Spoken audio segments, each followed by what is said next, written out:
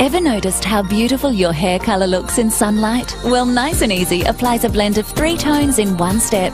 It's designed to bring out all the highlights and lowlights so your colour looks lit by the sun, even in the shade.